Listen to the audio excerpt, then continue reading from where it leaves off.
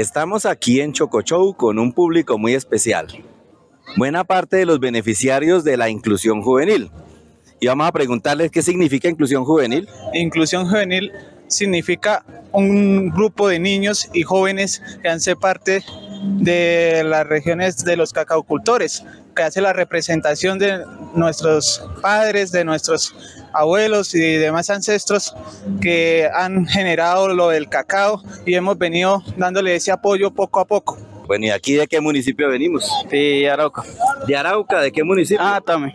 ¿De Tame? Sí, señor. ¿Y qué dicen por allá en Tame de la inclusión juvenil? En Tame, para nosotros la inclusión juvenil es, nosotros como jóvenes, el futuro del campo y el futuro de lo que son los cultivos, lo, lo que hacen hoy nuestros padres, lo haremos nosotros mañana. Ustedes lo hacen, pero solamente lo mismo que hacen o hacen transformación, algo nuevo?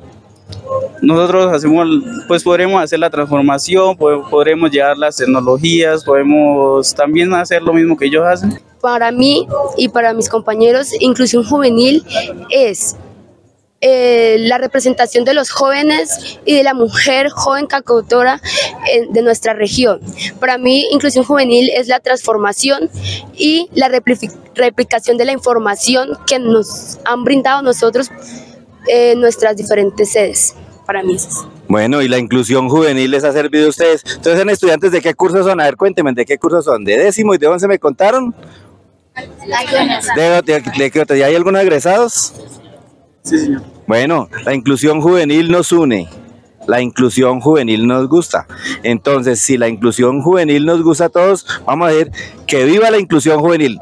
Uno, dos, tres. ¡Que viva la inclusión juvenil! ¿Y que viva de Cacao? ¡Que viva de Cacao!